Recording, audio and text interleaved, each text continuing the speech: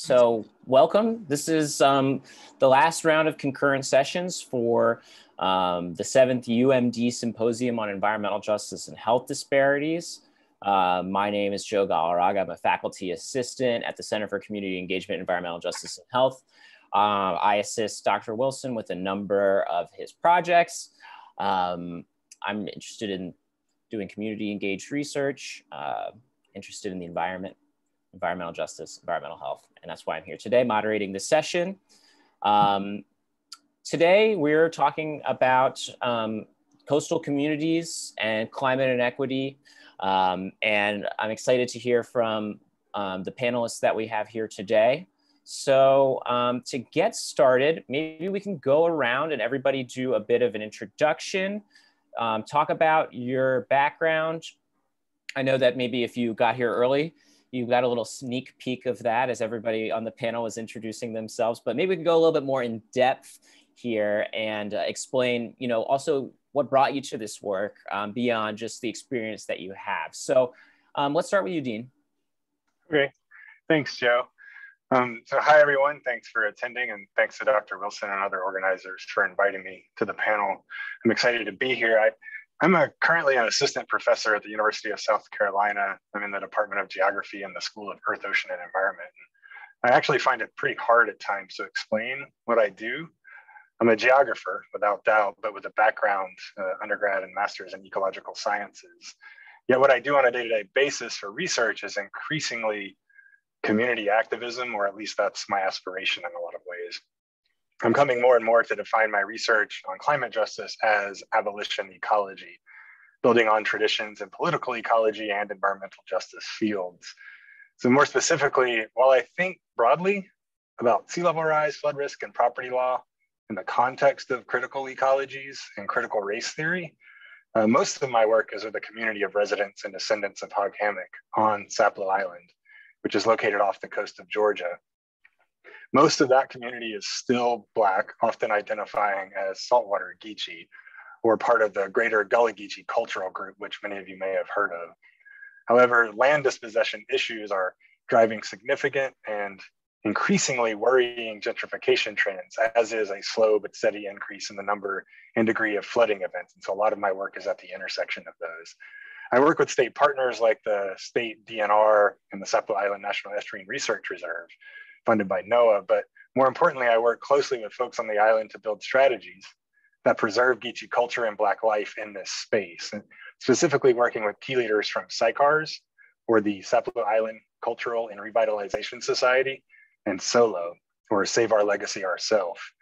These are two organizations that work together on cultural preservation for Hog Hammock, but SICARS tackles issues uh, such as land retention uh, where Solo is more focused on agricultural revival projects. And so I work really closely with those two on those issues. You can learn more about these organizations at sicars.org and saveourlegacyourself.org. And I share this partially to promote these two Geechee run nonprofits, but also because in my collaborations with folks, I've kind of inadvertently become the web admin for both organizations. Well, thank you, Dean. Appreciate that. And I appreciate you sharing information about those organizations. Sound like they're doing really, really good work. So next we'll go to Andrea. Sure. Hi, everyone. Um, and thanks for having me on the panel. Um, my name is Andrea Miralles Barboza. Um, I have a BS in Environmental Science and Policy and, and an MS in Marine Estuary and Environmental science. It's a mouthful um, from the University of Maryland. And I mostly focus on what is generally human dimensions and sort of qualitative approaches to coastal climate adaptation. Um, my thesis research focused on understanding managed retreat um, on the lower eastern shore of Maryland, an area that's already sort of seeing a lot of unmanaged retreat um, with sort of rural and older demographics. Um, I've worked in academic, government, and sort of nonprofit positions, and, and all these positions have sort of focused on that intersection of people living with water. Uh, um, but outside of sort of the professional and the academic, um, because my personal experiences have definitely brought me here today, uh, I'm a Venezuelan American.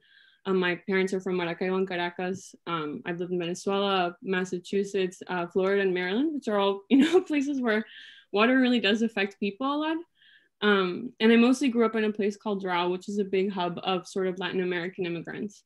And I grew up around a lot of folks who went through different forms of what I would call involuntary displacement for reasons ranging from sort of scarcity of resources to literally safety and, and sort of political concerns. Um, so I grew up around displacement and I grew up around a lot of water, and that sort of really shaped me and, and brought me here today. Um, and I think that also showed me how climate change and water can definitely put pressure on these existing systems of inequity that exist everywhere and how they can really shed light on those. So I'm really looking forward to this discussion with you all. Thank you, Andre. I appreciate it. Um, let's talk with, uh, yeah, Elizabeth. Can you uh, give a brief intro? Sure. Um, I'll echo what Andrea and uh, Dean both said, and, and thank thank you all for having me a part of this panel. Um, I am uh, um, I am a, a, project manager with the Nature Conservancy, and in that capacity, I support um, the Maryland DC chapter of TNC and um, uh, community engagement work and, and integrating um, um, equitable nature-based solutions uh, in supporting adaptation on the, the lower eastern shore of Maryland. Um, I have a PhD in environmental anthropology from the University of Maryland, as well as a, a master's in applied anthropology there. And um, that work really got me into this um, space working on um, rural environmental justice, climate justice issues, which is uh, really what I, am interested in and helping to support. Um, a lot of my um, experience as an anthropologist has been working with these rural, underserved, disenfranchised communities on the lower eastern shore. That are um, really on the front lines for these climate impacts and they don't have a lot of capacity or agency in this space to shape what adaptation looks like in um, in the sort of regional decision making process. And so i'm really um, interested in helping to elevate that those voices in these conversations and, and make sure that those communities that are um, in most dire need of adaptation support are um, able to get that, that support moving forward.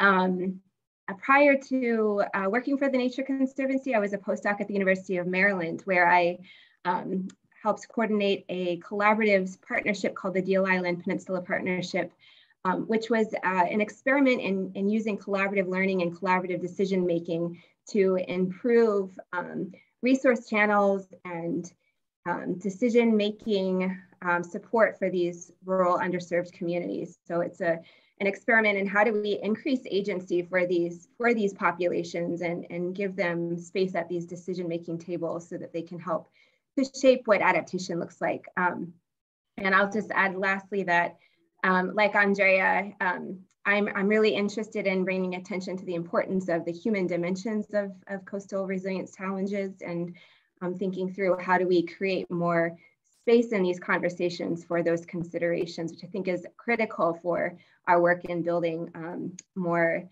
equitable and just um, climate change work. Um, and I'll stop there. So thank you again for having me. Thank you, Elizabeth. I appreciate you being here. And um, last but not least, let's talk with uh, Bob.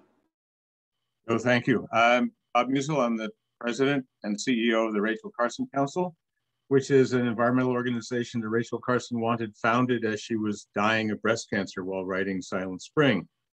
I was not there at the time, uh, but I come to all of this work with a very long, long history, as you can see, going back to Vietnam and civil rights days, uh, where those issues became linked for me and led through a long period of work in anti-nuclear work, anti-war. That, of course, led to the environment, which is completely connected to these things, which then put them into an intersectional justice context.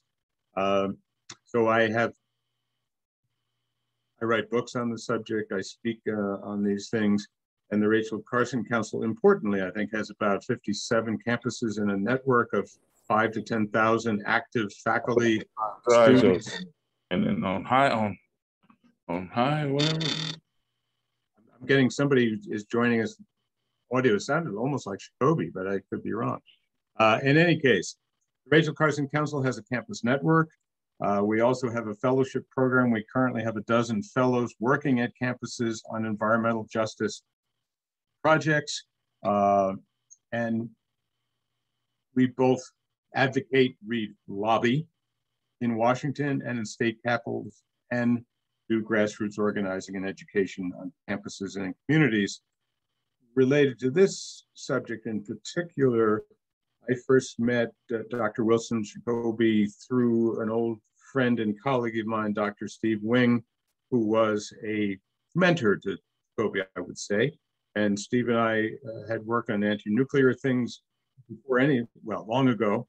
And then when I took over the Rachel Carson Council, I began work in North Carolina with Steve uh, on CAFOs and the problems of predominantly African American communities living around there and the health issues, the pollution issues, and of course, climate change issues.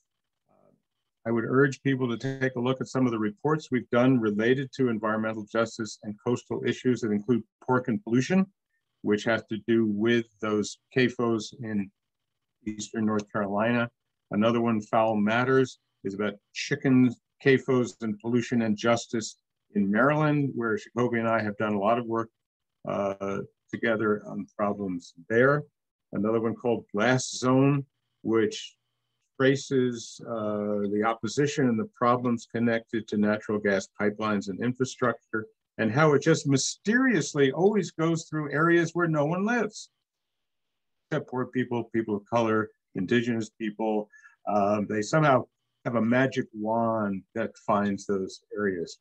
Um, and most recently, we've been focusing uh, North Carolina in this case, but around the country on clear cutting and the production of wood pellets or biomass, which is counted and claimed as renewable and carbon neutral in some circles, but is not. And again, if you look where we do a lot of grassroots organizing in North Carolina, Maryland, Pennsylvania, areas where Rachel Carson had deep concerns elsewhere, but we focused a lot. And in North Carolina, um, they're just all of the problems that I've ticked off happen near the coast, along the coast, or in essentially seven or eight counties that have overlapping issues that are related to climate, which include gas infrastructure, CAFOs, flooding, um, air pollution. And as you all know, that's called environmental racism. We work on it what we consider environmental justice. And that's why I'm here and have been doing this a long time.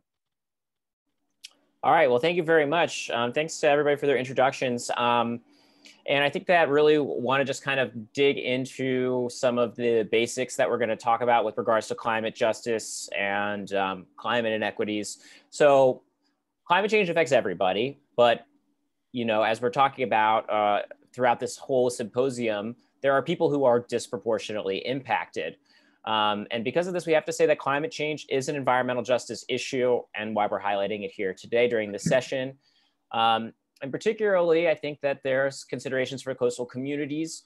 Um, and so, Andrea, I want to start with you and in, in talking about some of the ways that you have seen through the work that you do or at various experiences. Um, how are coastal communities disproportionately impacted by climate change? Um, thanks. Sure, Joe. Thanks. Um, I think climate change disproportionately impacts coastal communities in, in two big ways. So, so the first one is I think the one that we're usually more familiar with and, and the one that we talk about a lot is just increased exposure to natural hazards from climate change. Um, and that's especially important to discuss in this context of coast because communities of color, especially Black and Indigenous communities, have been targeted by practices like forced migration and, and redlining and slavery that have intentionally situated these folks into areas that have that were historically and are very much undesirable on the floodplain, right? Um, so they're not beachfront properties um, with a nice view, right? They're somewhat usually inland and they're low lying and they're really exposed to water. So there's just this legacy of situating communities in areas that like share the disproportionate front of climate change impacts. Um, and, and I think I always think back to like predominantly Black communities outside of the levee system in New Orleans when Katrina hit in 2005. Um, and then this big sort of second way that climate change disproportionately impacts um, coastal communities is in actual adaptation and ability to respond, right? Um, a researcher named Elizabeth Marino, who's an anthropologist, um, she coined a term that I think is really important to this discussion, which is adaptation privilege. Um, and it refers basically to specific communities' ability to respond to climate change better because of their increased access to resources and governance. and, and it's really well documented in the literature, right? You have two areas that are sort of this, uh, sharing the same physical exposure to natural hazards. It's the more socially vulnerable community that um, won't be able to adapt in a preferred way. So you have sort of wealthier and whiter areas adapting in ways that are preferred, like uh, elevating homes or, or building seawalls, things that keep them sort of in place, while poor communities and communities of color tend to have to leave home, right? Which is definitely not preferable. Um, so I don't think climate change itself is acting unjustly. I think what's determining sort of the, the distribution of unjust impacts is a system that's been set up to protect some communities from climate change at the expense of others. Thank you, Andrea. I, yeah, I think that that's important to note is that this is systemic, right? This is not, um, when we talk about disproportionate impacts, I, I, just previously was doing a discussion on how, you know, the coincidence of, of lead and, and redlining within cities, you see that this is, you know, this is a design, this is the result of policy. Um, Elizabeth, do you have anything you want to add here? Uh, yeah, sure. I, I um, agreed with everything, Andrea, that you shared. Um, I, when in thinking about how to answer this question, I was thinking about it largely in terms of these highly rural, underserved communities. And you know, Andrea, you mentioned that these are these are aging um, communities. It certainly is a, a, disadvantage. They're losing a lot of um, their youth who are, are, moving to places where there's better economic opportunity, and and with that, they're losing a, a huge part of their their human capital that is important for figuring out how to deal with these impacts. Um, their economies tend to be in decline, and that's in part due to the fact that we are seeing these broader socio-political shifts that are um, shifting, um, you know, farming and uh, in, the Chesapeake Bay region, we have a lot of watermen, commercial fishermen, and they're struggling in, in terms of having to compete with these, with these international markets, but also the land and water that they are working are um, being directly impacted by these changes. And so farmers are losing productive land, watermen are, are struggling to um, catch, um, meet the catch needs that they need to put food on their tables. And so um, this is putting another additional stress on these communities. Um, but these rural, highly underserved rural communities are also very much politically um, disadvantaged in terms of both their physical uh, proximity to decision-making tables, but then you add um, these social dimensions of race and ethnicity that disproportionately impact, um, for example, African American communities that live in these low-lying places that are really on the front lines and, and they are silenced in these discussions about how to access um, money and how to get support for dealing with flooding that's directly affecting them right now. Um, uh, and then on top of that, the, the sort of governance structures of these rural communities, they are, um, you know, county government is the, the, the place where a lot of these decisions are being made and these county governments are having to compete with more wealthy, more resourced, um, more well-staffed urban municipalities and, and counties that can better access that adaptation funding. And so they're, they're really struggling to, the meet, to meet the demands of their communities. Um, and the last point I wanted to make is that um, while these rural underserved communities um, are struggling economically, they're incredibly rich in these natural resources. And these natural resources, the lands um, that are adjacent to these, like marshes, for example, are um, increasingly of, of, interest to environmental groups who want to protect these things, these lands for um, future wildlife, future um, habitat, and that's all well and good. But the problem is, is that these conversations are largely ignoring the fact that these rural landscapes are incredibly rich and important human landscapes as well. And so the human element in these conversations gets ignored. And I think that um, further disenfranchises these particular communities in these conversations about how we um, help these landscapes adapt to change. Um, and I think that's, um, you know, adding a new layer of injustice to this climate change conversation. Sure. Yeah, I appreciate that perspective. You know, lack of um, various infrastructure, disinvestment, and then also uh, ignoring the fact that uh, it's almost dehumanizing when, when it, in this way of, of understanding these areas and not um, uh, understanding that the people how, how people have lived on the land, how people have occupied the land. So I appreciate that very much. Um, Bob, do you have anything else that you want to add here? Yes. Um, I hadn't heard the term um, adaptation privilege. Is that right, Andrea? Um, but we see it and work with it all the time. I, I think it's important for people to understand that the response for the federal government to disasters caused by the flooding and sea level rise and hurricanes and so on is already disproportionate. That it is very difficult to access and it's biased in many ways for people of color, poor people, et cetera. The insurance rates are similarly uh, disproportionate or very difficult to get so that the rich get richer. And, and, I'm well aware because we organize around both the comfortable and the uncomfortable, if you will. And I'll just use North Carolina as our handy example. Uh, you know, if you, um, I have staff people whose parents live on Bald Head Island. It's a very nice place. Uh, she grew up, she's an environmentalist because it's a secluded, nice houses, privileged kind of place. And they had difficulties but they were able to rebuild. The houses are on stilts, all those kinds of things we were talking about, and not far away, things are blown down, not rebuilt, etc. There's just a, a tremendous difference between them. I wanted to say a quick word about other people. I mean, I could go on about how on the shores, and I think you alluded to this, that you know the comfortable. You know, I have friends in both parts of the spectrum, say in Charleston, where the flooding there is, uh, is ruining all sorts of neighborhoods. Hurricanes have had disproportionate damage. My friends who've retreated from the flooding are leaving a second home in Charleston uh, and getting another one. You know, it's sad they can't live in Charleston anymore, but it's very, very, very different but it's the people who work. I, I, just want to say a couple of words. We've been reacting throughout this heat waves going on that climate change is not just sea level rise and flooding, it's also air pollution, heat, and workers of all kinds, particularly outdoor workers. There are no federal standards. I didn't know this. I don't work outside. You see where I work, an air conditioned place with a computer. The folks who work outside are suffering from severe heat stroke, heat exposure, sometimes death. Um, similarly, people, when I, I mentioned CAFOs, we began worrying about the residents, African Americans mostly, and often they had their land taken or they were stuck there.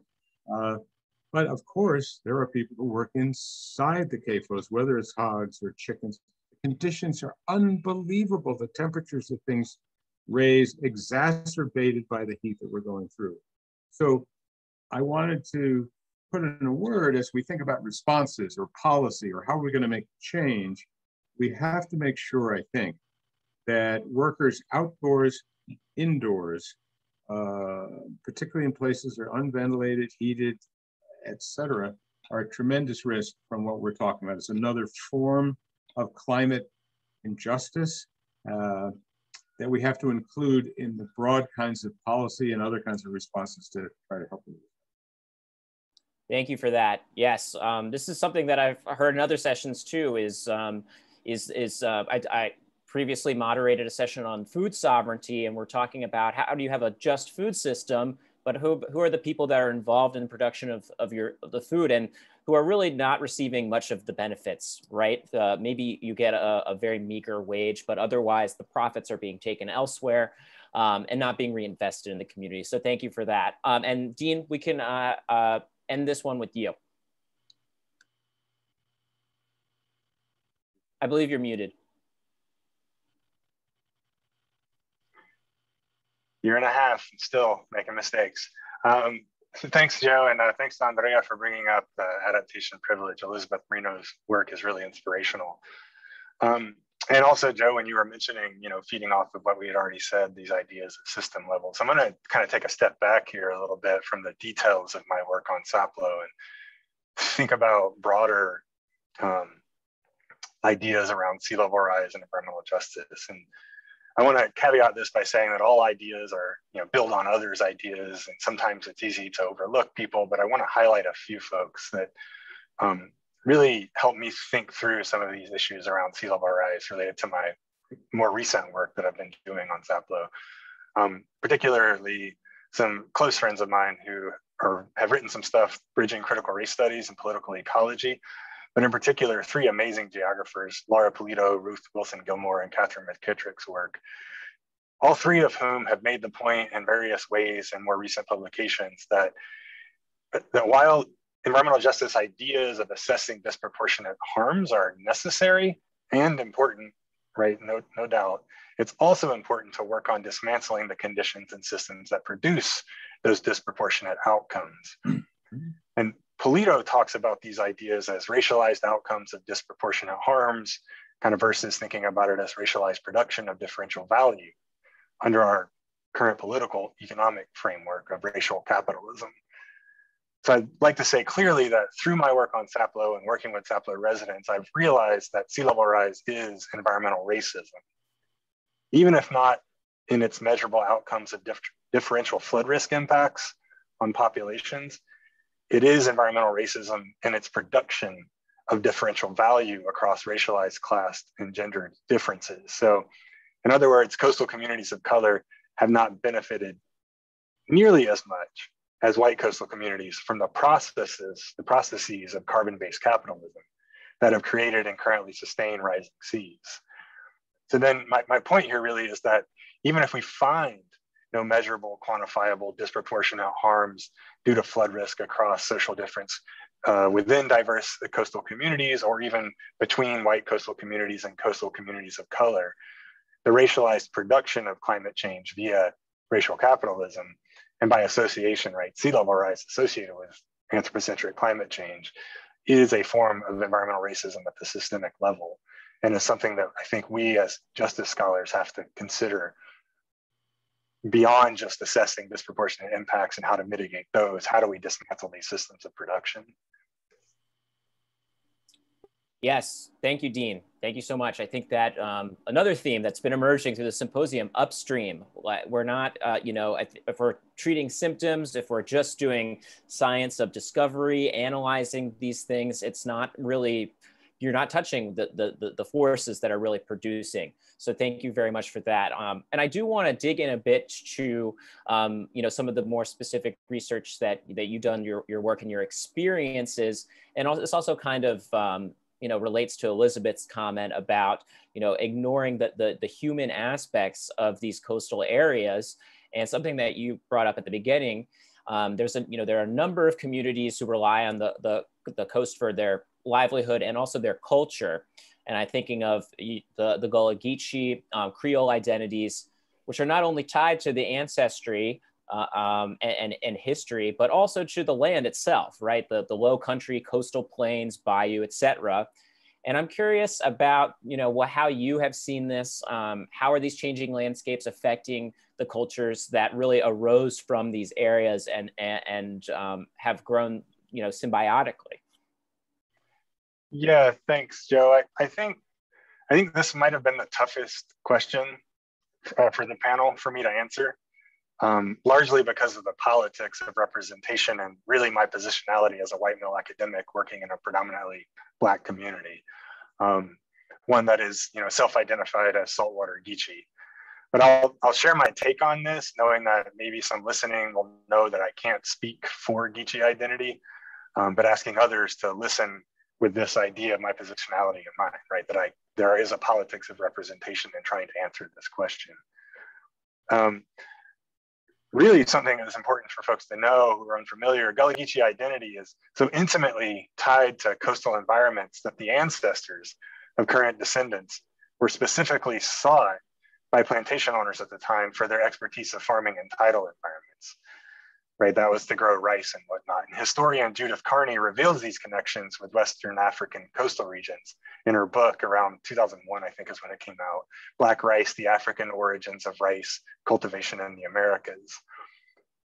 Now, a, a Sapelo descendant and professor of history at Rutgers, uh, Melissa Cooper, has kind of complicated these identities of Gullah Geechee in her recent book, Making Gullah a History of Sapelo Islanders, Race and the American Imagination, in which Cooper argues that these identities were projected onto Black coastal, mainly rural residents of the US Southeast during the early 20th century as part of anthropological projects um, in the hunt for African survivals in these relatively isolated Black communities.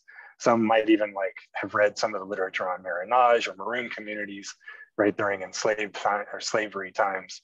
These communities would migrate to swamplands and whatnot. And so there's this kind of romanticization of Black life in rural southeastern coastal regions that Melissa Cooper tries to tackle.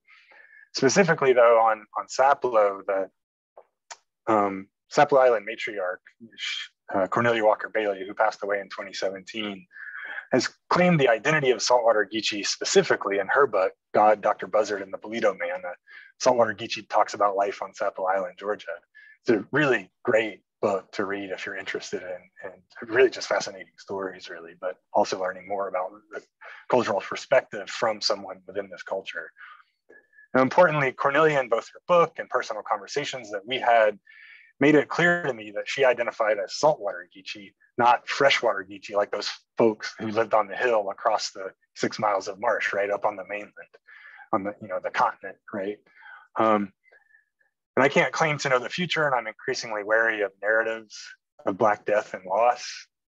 But what is evident is that climate change in coastal areas like Sapelo and the Eastern Shore, of Maryland, and, and beyond, right, will be intimately entangled with any changes to cultural identity as, as an identity, identity like saltwater Geechee um, conveys, I think. Well, thank you, Dean. I appreciate um, you know you you sharing um, and also your you know your disclaimer as well. And I hope maybe I can follow this question up with um, you know I because I know that you have been in in those in those areas and and perhaps any sorts of resources that people can access so we can hear people speak with their own voices about these issues. I don't know. I don't mean to put you on the spot if you know of any sort of documentary, accessible media, or anything like that and you know hopefully going forward and if we follow up with these topics it would be it would be wonderful to have somebody come and speak um, to these issues who who who um, who is intimately involved with them and who can prov provide that perspective actually. So i'm just if you if you want want to um, you know give any sort of shout outs here that would be appreciated. Um, thanks. Yeah, absolutely. Um, I mean, the one name that comes to mind of someone who is identified uh, with this cultural group is, is Queen Quet or Marquetta Goodwine. And she's written books um, that, that aren't related to climate change, but for more than a decade, maybe 15, 20 years, she's been talking about a lot of the stuff I was just saying, right? That sea level rise is a systemic racism issue.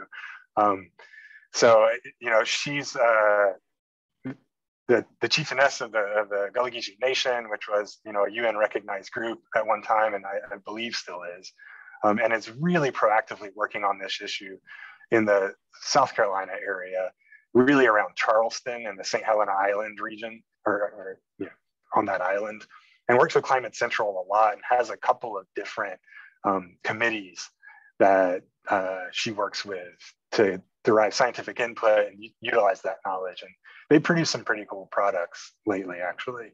Um, I could try to share those in the chat. Thank you very much. Appreciate that. Um, excellent. So I'm going to um, head to the next question um, and talk about um, climate justice and equity um, as movements that I see are, you know, parallel to environmental justice, integral to environmental justice, but are yet somewhat different uh, in, in the specificity because the threats posed uh, by climate justice uh, or climate change, I should, should say, are unique challenges due to the scope and the progression of the issue. The fact that this is, uh, you know, something that has been put into motion, it's it's happening, um, and unfortunately, climate change is a phenomenon that now must be weathered. And I know that Andre, you're talking about adaptation and adaptation privilege. Um, so I'm curious, are what are some adaptations that you see as being useful to coastal communities and perhaps examples or models that you've seen um, that really work within communities maybe that don't have that sort of adaptation privilege? Um, and I would like to uh, start with Elizabeth on this question.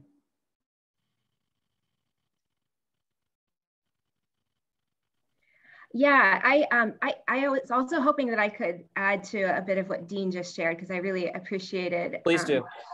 Uh, I, uh, I forgot to mention earlier on that my, um, my research prior to joining TNC was really um, focused on cultural heritage and, and what cultural heritage means, how it gets utilized in conversations around change. And particularly, I was interested in how it gets mobilized in the context of climate change. Um, and I think that, um, you know, that that's a really important piece that um, we need to keep in mind as we're thinking about what gets lost with these landscape changes and this, you know, critical part of what grounds people's identity, but also serves as a critical um, asset in adaptation. You know, if you you don't have those cultural guideposts anymore to help you make decisions or help your community figure out how you all should um, adjust to these changes, then then that's that's a huge loss. Um, and and heritage is a, is a, it's a tool of power. It's a way to stake your claim to a narrative and use that to leverage yourself. And so if you if you lose that connection to the land and that that ability to to harness that tool as a as as power, then then you really have um, kind of lo lost your spot in this conversation about how how we move forward as a um, as, a society, or you know how you benefit in in that in that in that work. Um, so I think I think that I, I just wanted to raise that point and and sort of put it in conversation with what Dean shared, which I, I really appreciated what you shared as a, a low country native actually, and um, uh, having some personal experience uh, with the Sea Island communities in the Carolinas and Georgia. Um, and I'm sorry, Joe, could you repeat the question once more that you wanted the rest of us to respond to? No problem, yes. Um, sorry for skipping you on that response. I'm, I'm, aware of the time and trying to trying to be a good moderator here. But um, the, the question that I'm asking is, you know, in light of what the discussions that we had about, um, uh, you know, adaptation privilege, so how have you seen climate adaptations or what sorts of climate adaptations do you see as being um, useful to um, coastal communities and particularly perhaps, you know, frontline fence line EJ communities um, who maybe don't have the, the means or resources um, and, and, maybe models that you've witnessed or, or, implementations that you've witnessed that have, um, ha have been um, hopeful for you? Yeah, the way that I, uh, I like to think about this is I, you know, so much of the conversation has been focused on these physical vulnerabilities, which of course we need to address. But I think a big part of what limits people's adaptive capacity in these frontline communities is their empowerment. Um, you know, they've they've been largely disempowered by these um, systemic uh, issues that we're talking about in this entire conference. And so I think a big part of you know, thinking through what adaptation strategies we need to bring to, to the table is really creating um, strategies that, and that, that enable people from these communities to lead that conversation and not have those decisions made by outsiders who don't look like them, who haven't lived their experience. Um, and so, uh, you know, in, in, in, the work that I've been a part of, um, one of those tools has been um, uh, collaborative learning and using that as a way to build rapport, build relationships, build trust between um, a range of people who bring different experiences, knowledge, resources, and util utilizing those networks that form through that process to leverage these communities who have been left out. Um, and so I think that's a really, that's been a valuable um, adaptation strategy in our work. We're struggling with figuring out how you you keep that going um, when so much of what drives adaptation work is carried out on a project by project basis. You know, how do you sustain these kinds of important networks that are critical to um, elevating people's adaptive capacity? So um, uh, maybe I'll stop there. I think I've probably used my two minutes and let Andrea and, and Bob uh, share their thoughts as well. Sure. Yeah, um, appreciate it. Uh, Bob, would you be able to um, follow up here? Well, I've still been thinking about, terrible to put it this way, Dean's comment uh, about the need for systems change. Uh, and I, if you could repeat the specific question, I think I can link those things together and not take more than two minutes. No problem. So um, in light of uh, conversations that we've had about adaptation privilege, um, how can we, uh, or what are some climate adaptations that you see as being useful um, to coastal communities, particularly the EJ communities?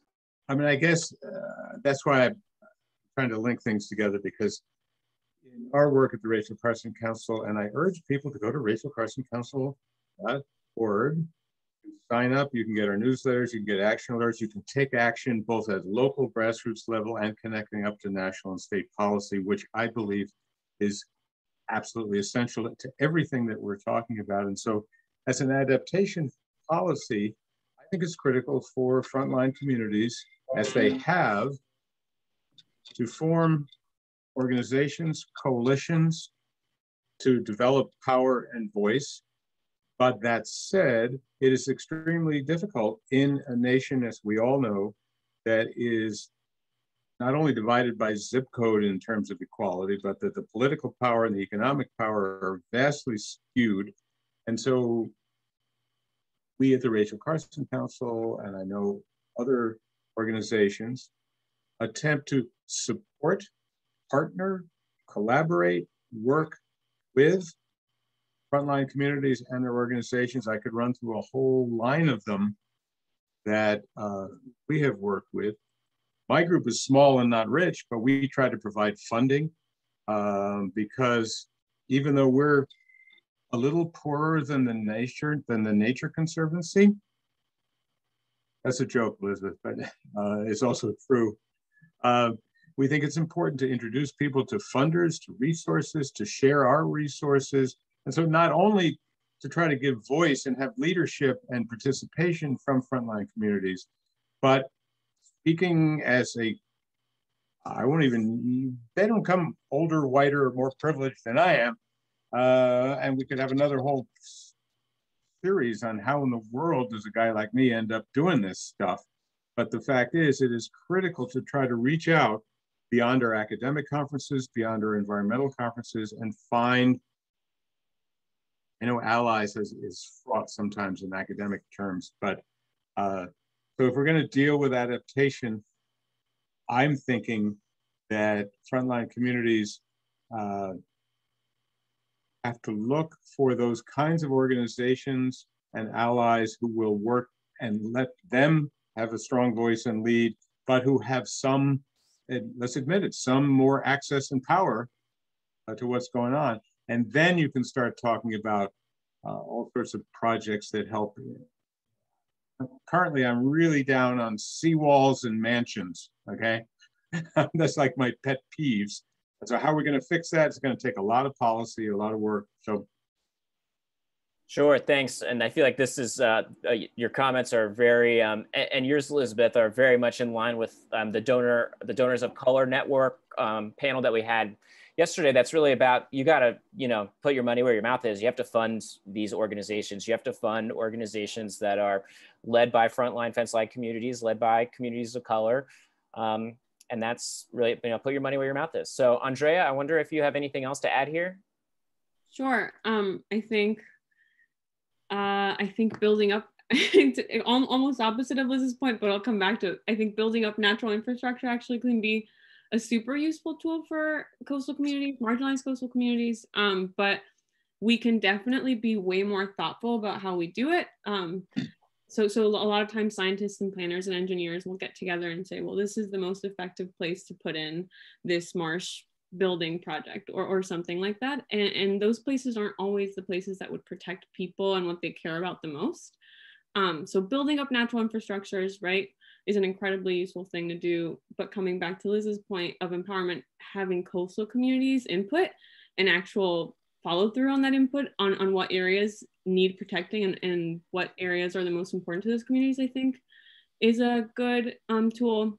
And then, I mean, I if there's time, I want to talk about one really quickly that I think is useful to talk about because it's really a big part of a coastal adaptation conversation, but it's really controversial, which is relocation. Um, and I don't really think that relocation right now is used for equitable in the way that it's done, but but I think it has the potential to be a really good tool. Um, at a basic level, you know, it gets people out of harm's way, but I think for it to be good, it needs to leave people way better than than where they are right now.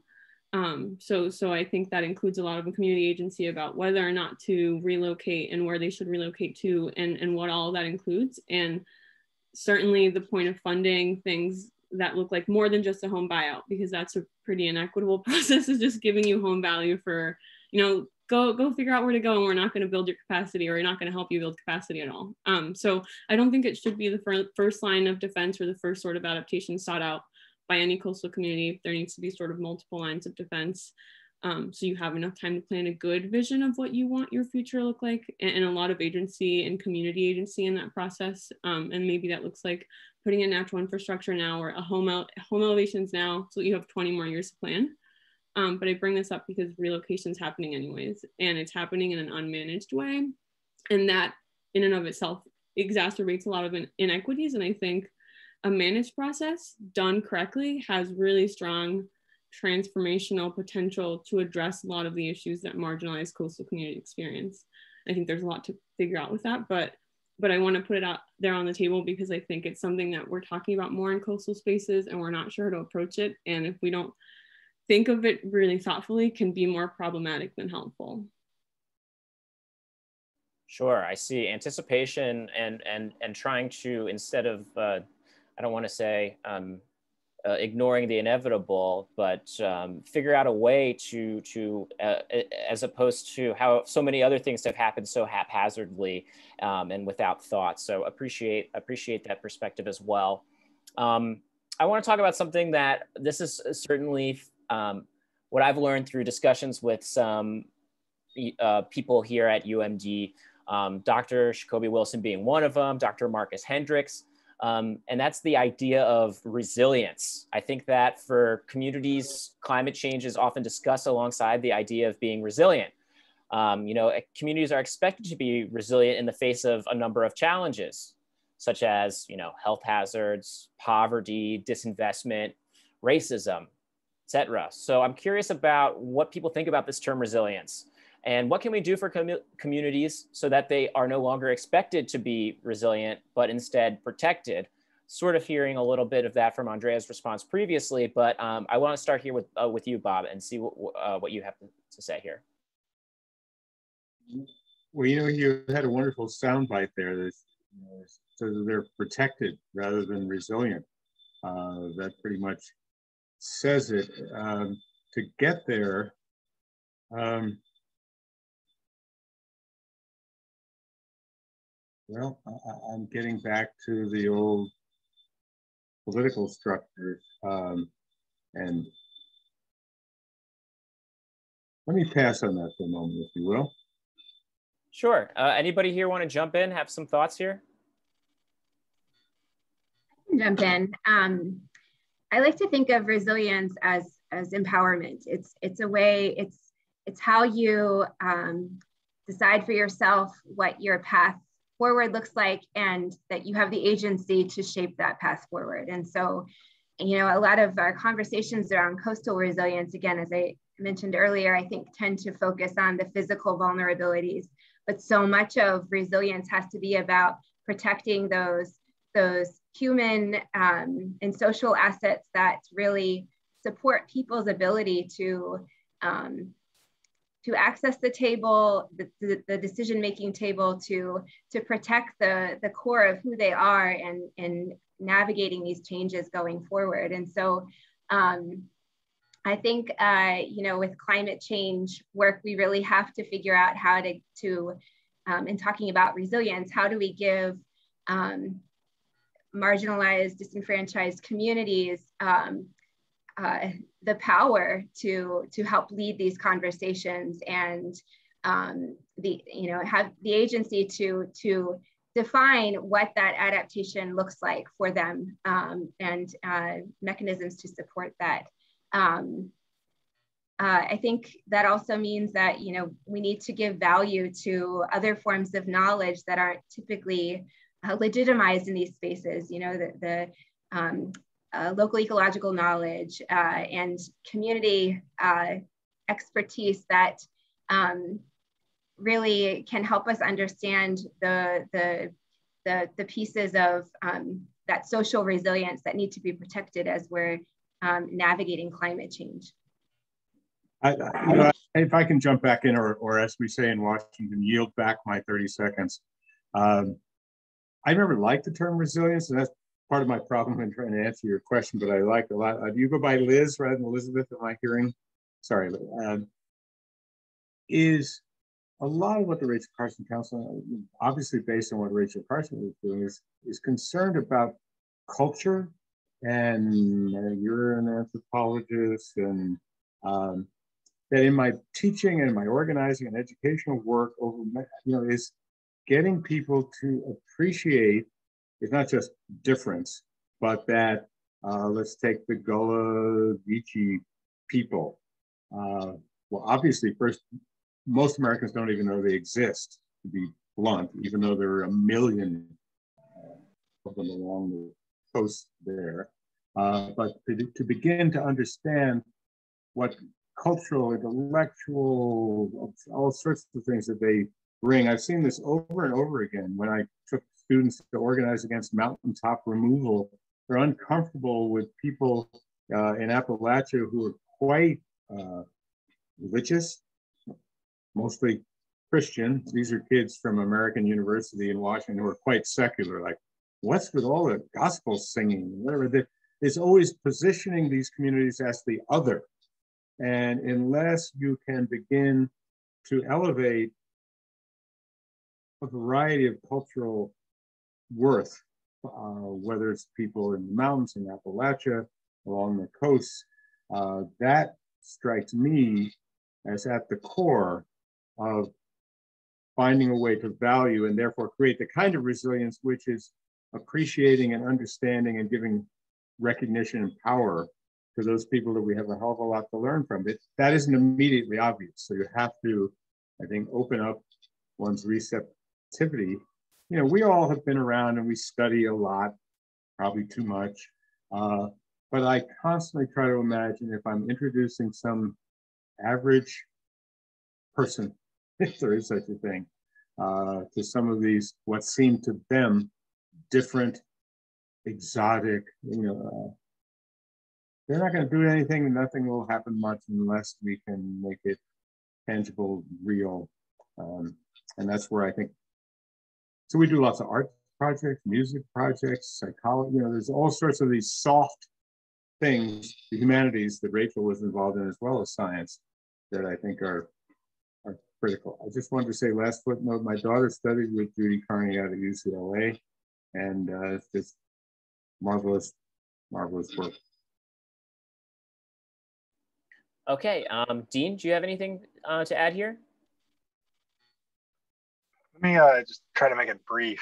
Um, I appreciate Liz's perspective here, and I, I, think, however, though, I want to push back on it just a little bit. I, there are ways to still use the term resilience, but I, I, I think it's a problematic term in most instances, and that's because typical academic and policy-minded narratives of overcoming flood risk, right? Including improving, include improving coastal community resilience, right? And this often implies the ability to thinking about it from a systems level to maintain or return to a stable state after a flood, for example.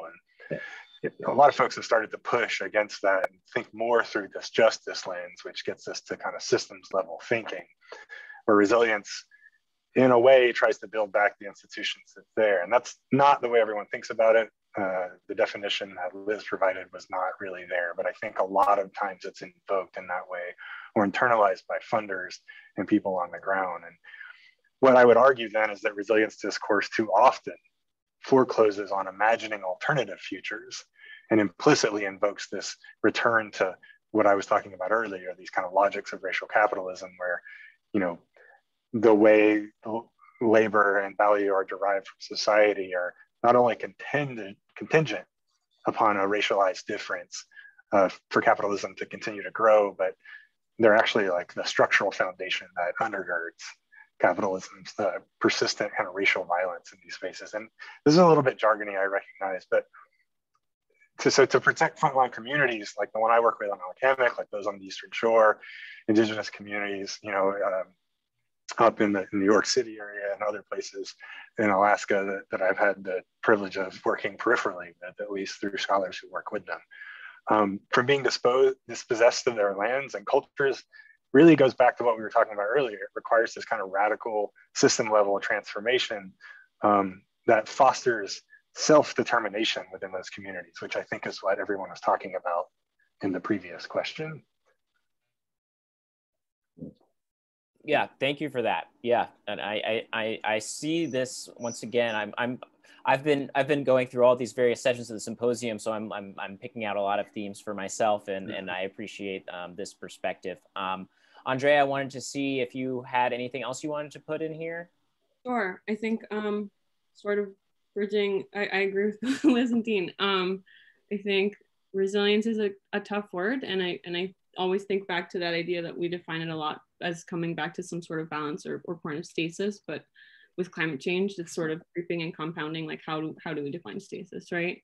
And I think when we're thinking about how to make communities protected as opposed to having to constantly be resilient in the face of repetitive sort of impacts, I think we who occupy environmental spaces and do this work, we need to, I guess what, what Dean was getting at is focus less on making the system bounce back or come back into some sort of balance and focus on sort of a transformational system where, where we acknowledge that there's historic and current practices that have forced people to become resilient um, and figuring out ways to create pathways to protection as opposed to having to continuously be resilient. And i think especially because when you think about us coming back to a system that's never actually served marginalized communities that well like there's never a balance for those communities we need to rethink resilience from bouncing back to, to transforming systems that work for the greater good and not just the ones who are sort of benefiting at the expense of others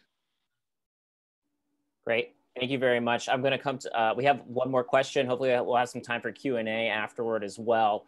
And I kind of think, you know, these questions were prepared ahead of time. And I think that based on what I'm hearing, um, you know, I feel I'm, I kind of am going to maybe modify this slightly, and I want to kind of, uh, you know, something you just said, Andrea, pathways to protection. How do we get to those pathways of protection? Um, how do we create those actual pathways to protection? I know I was previously going to ask about um, policies, but you know what I'm hearing from Dean, what I'm hearing just generally from this conversation also is that you know, uh, a lot of the, the, the policies are perhaps maybe some of this this stasis that we're talking about, and and maybe there's some there's some room for, or not even room, necessity for some um, reimagining, some alternative um, reality here, um, alternative narrative. Um, so I guess Liz, we could start with you, I'm curious about you know imagining these pathways. Um, or, or if there is any sort of policy mechanism that we could use here. To create these um, and, and, and how you think we might get there? Um, yeah, that's a tough question. Um, I, I think that you know, there needs to be some, some policy shifts to enable to, to, to, to promote that transformation. We need to have people from these communities part of the conversation. And I think traditionally the way that uh, we tend to approach um, resilience and carry out resilience as projects is you know we develop a project and then we take it to a, a, place that might have a community and we you know the project is always brought in after the fact. And so we need to really encourage that dialogue to happen well before projects are designed or even um, come to mind and, and work closely with communities to develop those ideas in ways that can lead to those transformations. Um, I think that uh, we also need to um, have mechanisms to support more um, community leadership programming as part of this. Um, I think about, you know, I, again, I, I, talked about the Deal Island Peninsula Partnership, and part of that is, you know, the interest in that project is figuring out how to leverage these underserved communities so that they can have a seat at the table but we don't have a mechanism to sustain that so how can we you know, support those kinds of initiatives. And I think there are better examples out there. I'll, I'll I think, um, for example, Lead the Coast down in, in Louisiana has done a phenomenal job at creating a, a program to um, elevate um, community leaders from these frontline communities. Um, and they, it's run by a foundation that has the mechanisms to sustain this process, this engagement, to continue providing that support over the long run. And, and so I think um, we need more policies or mechanisms to to support that kind of long-term investment that allows for that accountability in these places that need it the most. And when you make those investments, I think that you create the space for those kinds of transformations to, to happen because you're allowing new voices to shape what that looks like that maybe haven't been part of these conversations to date, at least in a meaningful way. Thank you. Bob, any follow up here? Yeah. I, have, even though I'm a supposed progressive, wild environmental guy, I don't like to be too controversial. I uh, continue to think that we need to link up to political entities. Be blunt, part of the reason I chair two political action committees, part of the reason I work both on Capitol Hill and in state capitals, as well as in communities, is that um, to get the kind of change that is needed around climate and climate justice and the policies to fix resilience, adaptation, sea level rise. My experience, I'm sorry to say, is that too often people shy away from politics. Uh, you can call it policy, you can call it advocacy, but I was struck uh, as I was looking at a number of things that Queen Quet had had read had written before I came on the air with all of you. Um, and she talked, for example, about uh, her interest in South Carolina and the US 30 by 30 plans to conserve 30% of waterways and 30% of the year by the land, uh, by the year 2030.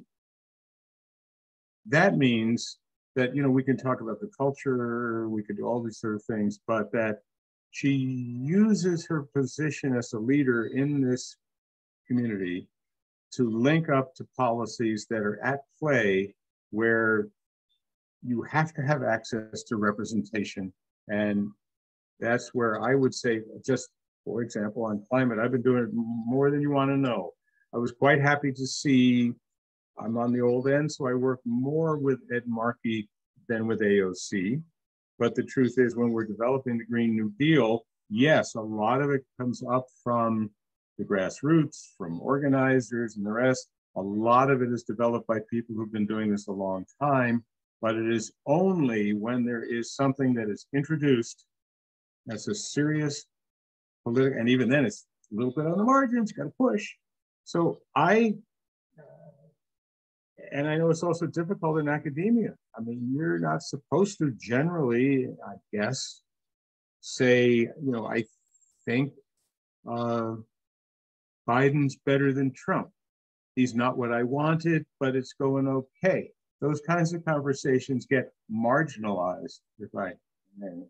And so I hope that out of the conference, which is doing a fabulous job about identifying, lifting up, naming environmental injustices, climate justice issues, the role of communities, of projects and programs, that we all can begin to link up to entities both in state capitals, Washington, and, and frankly, national organizations who've come a long way. We all know the history of environmental racism in mainstream organizations.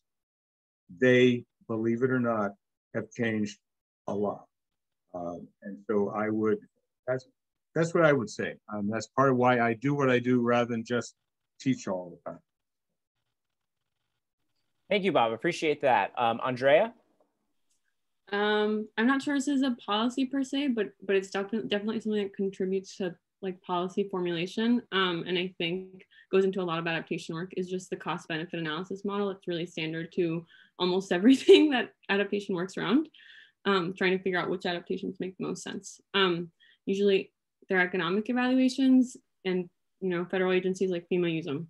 And they assign values to communities based on physical exposure to things or property loss and, and value. And I think they really don't do the best or, or I don't, don't even really attempt to capture social and cultural losses. Um, and so we have a tool that's sort of made to determine which projects, adaptation projects, we should basically be putting our money towards that don't properly account for the comprehensive set of losses that coastal communities experience, especially marginalized coastal communities. Um, and in lots of cases, they exacerbate issues of inequity by not addressing how lower property values are usually tied to problematic and racist policies. Um, so, so I don't think I'm the economic brain that knows how to restructure that evaluation tool, but I think that specific policy change could go a long way in figuring out how to capture some of those more intangibles, social values into these um, evaluations and, and how to properly protect people based on the actual losses experienced.